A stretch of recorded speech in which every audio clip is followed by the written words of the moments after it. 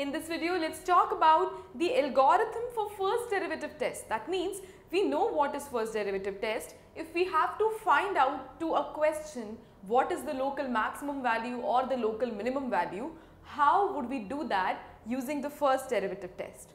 So it is basically a step-by-step -step procedure which we have to remember and in the next video we will be seeing the first numerical problem wherein we will be applying the procedure. So the first step would be what? The first step would be that whatever function is given to you, you have to assume it as it is y is equal to f of x, right? After you have assumed that y is equal to f of x for that function, then you have to find out since the derivative is the first derivative, then you have to find out dy by dx which is what the first derivative, right? After finding out the differentiation of y with respect to x, the next step would be you have to simply put dy by dx is equal to 0. You have to substitute dy by dx is equal to 0. Now, if while putting dy by dx is equal to 0, you come to know about certain facts, that means suppose I have the differentiation as x square minus say 25. That has come out to be my dy by dx. That is a very much uh, example, we are just taking one example. The step is to find out dy by dx and put it equal to 0. So, you have found out, now you have to put it equal to 0 and then you will be getting certain values. So, that is what we are talking about. So, the algorithm goes as follows that you have to find out dy by dx then you have to put it equal to 0.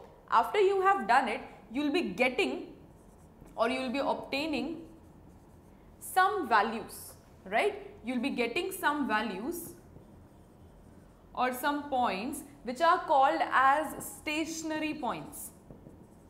What are they called as?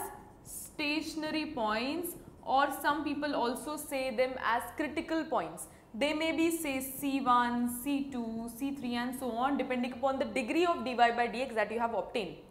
After you have got these stationary or critical points, these points are very important because they may lead to. It is not that all of them will give you maxima or minima. Some of them may lead to maxima and even some of them may lead to minima. Right? So, it is very important that you do not say that okay these are the three points that we have obtained the simple solution is given to us. No, you have to then move forward with checking whether out of these all three or say 6 or say 5 of the stationary points or the critical points which one gives you the maximum or minima. So for that checking purpose to check whether which one has been giving me maxima or minima, next you move forward. Next what you will be doing is you will be actually moving on to the stage wherein you have to check that whether my dy by dx or my f dash x changes sign from positive to negative. Remember we did it in first derivative test previous video. So if my f dash x changes sign from positive to negative, as you move forward in the positive direction of the x axis, then I say that it is leading to maxima, right? If the second case, my f dash x changes sign from negative to positive on putting the value, whatever value is there that C1, C2, C3, these all values, then it leads to minima.